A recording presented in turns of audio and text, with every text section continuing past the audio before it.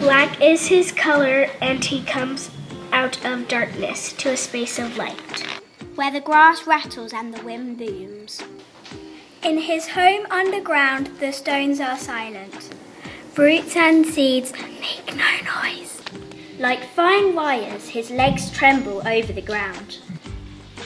Raindrops hiss and explode around him, but he runs zigzagging from their cold touch. At last, one raindrop, bright balloon of water, burst on his back, becoming his own flood.